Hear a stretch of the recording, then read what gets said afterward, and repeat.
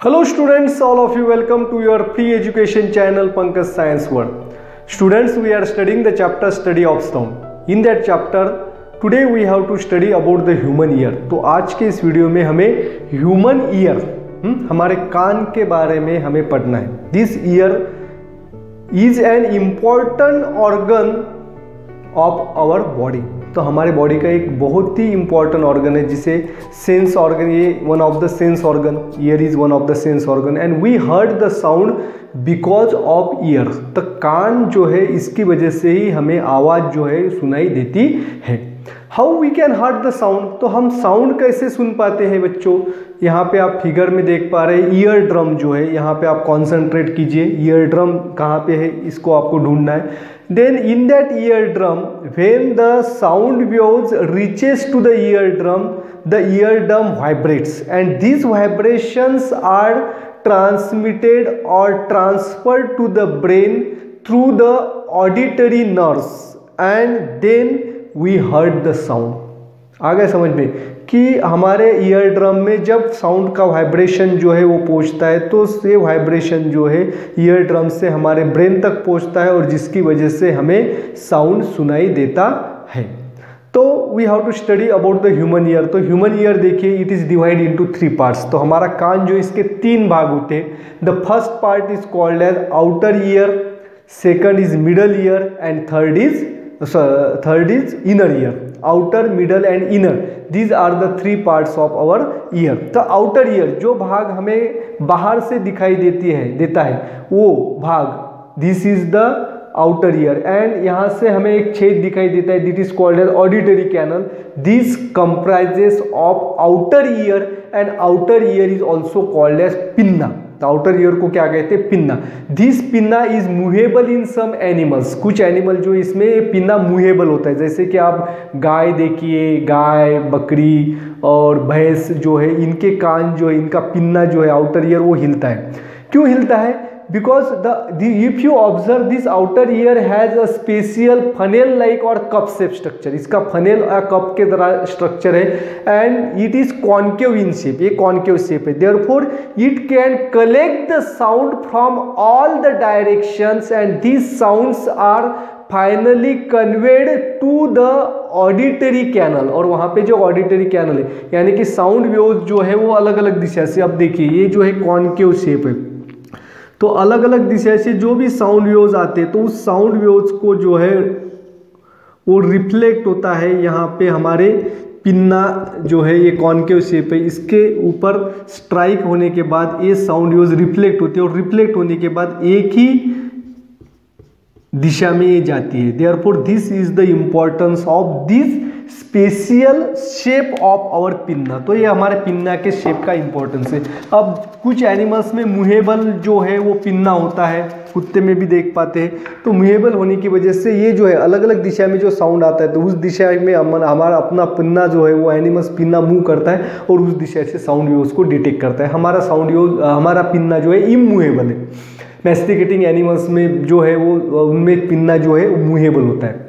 अब देखेंगे outer ear का स्ट्रक्चर आपने देखा it is it is a cup shape और funnel shape structure and it collects the sound from all direction and then this sounds are travel to the auditory canal तो pinna का काम क्या है? अलग अलग दिशा से जो साउंड यूज़ आ रहा है, उसको हमारे ऑडिटरी कैनल तक पहुंचाना और ऑडिटरी कैनल से फिर क्या शुरू हो जाता है? इनर ईयर का पार्ट शुरू हो जाता है। अब यहाँ सॉरी मिडल ईयर का पार्ट शुरू हो जाता है। डायग्राम में आप देखिए middle ear the middle ear is made up of cavity and that cavity is called as tympanic cavity तो उसे क्या कहते हैं? टिम्पेनिक कैविटी फिगर के अंदर आप देख पाएँगे।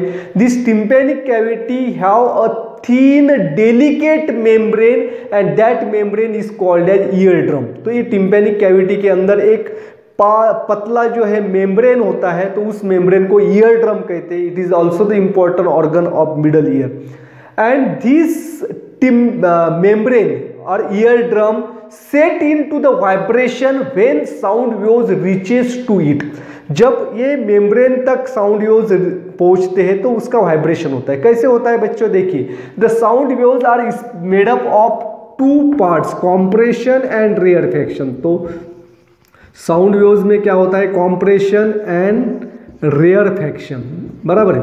तो compression is the region of high pressure and high density. And when the compression reaches to our ear drum ये देखिए, ये ईयर ड्रम है। When the compression reaches to our ear drum at that time the compression is high pressure and high density and due to which the pressure outside the ear drum increases and due to this increased pressure, this eardrum is pull, push inward.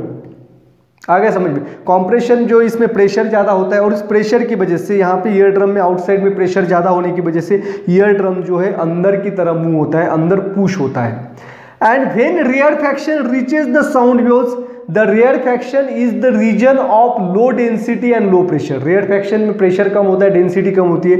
And due to विच जब rare faction यहाँ पे पहुँचता है तो यहाँ पे outside में pressure कम हो जाता है। और प्रेशर कम होने की वजह से this ear drum is push और pull this ear drum is pull outward तो ईयर ड्रम जो है, वो बाहर की तरफ़ आता है। इन दिस वे जब कॉम्प्रेशन आएगा तो ईयर ड्रम जो है वो इनर इनवर्ड जो है पुश होगा और जब रेयर फैक्शन रीच हो, वहाँ पे पहुँचेगा तो ईयर ड्रम जो है वो आउटवर्ड पुल होगा।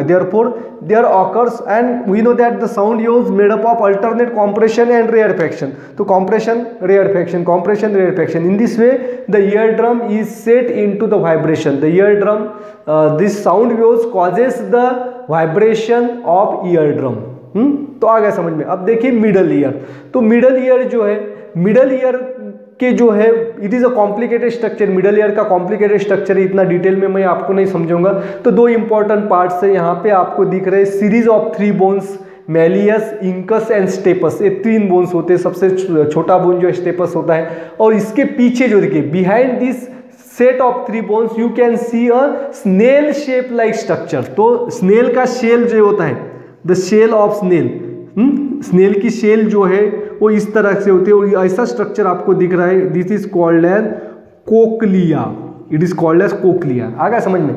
अब देखिए ईयर ड्रम का वाइब्रेशन हुआ है and this vibration are reach to the cochlea through this set of three bones ear drum vibrate होता है, इसके साथ साथ ये जो है थ्री बोन्स इनमें वाइब्रेशन होता है, और फाइनली वाइब्रेशन जो है, वो कोकलिया तक पहुँचता है।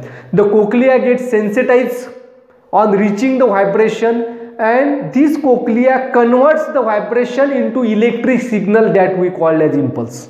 अब जब वाइब्रेशन कोकलिया तक पहुंचेगा तो कोकलिया का क्या करता है? इस वाइब्रेशन को इलेक्ट्रिक सिग्नल में ट्रांसफॉर्म करता है, जिसे इम्पल्स कहा जाता है। एंड दिस इलेक्ट्रिक सिग्नल्स और impulse then pass to the brain through the nerve called as auditory nerve and in this way this uh, impulses reach to the brain and the brain analyze these signals and we heard the sound. आ गया समझ में? अब cochlea ने जो electric signal में transform किया है वाइब्रेशन का और इस वाइब्रेशन को इलेक्ट्रिक सिग्नल के थ्रू यानी कि इम्पल्स जो है, वो ऑडिटरी नर्व्स जो है, वो हमारे ब्रेन तक पहुंचाता है और ब्रेन में पहुँचने के बाद वहाँ पे एक स्पेशियल रीजन होता है ऑडिटरी सिग्नल्स को रिसीव करने के लिए और उस सिग्नल को रिसीव करने के बाद ब्रेन इसे, इस सिग्नल को एनालाइज करता है और हमें आवाज़ सुनाई देती है।